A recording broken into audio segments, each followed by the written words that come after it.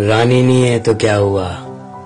ये बादशाह आज भी लाखों दिलों पर राज करता है। देखा आपने, ये जनाब पुलिस स्टेशन के अंदर पुलिस अधिकारी की कुर्सी पर बैठकर वीडियो बना रहे इन जनाब का नाम है सुरेंद्र पाटिल।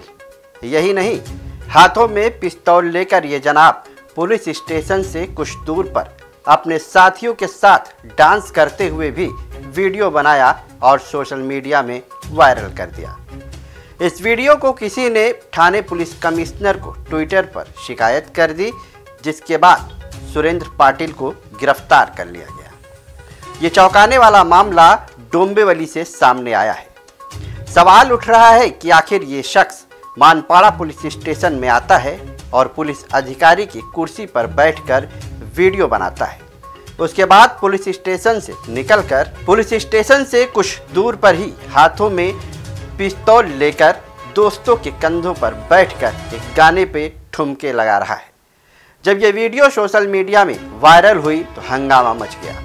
मानपाड़ा पुलिस ने शिकायत मिलने के बाद सुरेंद्र पाटिल पर आईपीसी की धारा 336, 170, 500 क्रिमिनल लॉ अमेंडमेंट एक्ट और आर्म्स एक्ट के तहत मामला दर्ज कर गिरफ़्तार कर लिया है।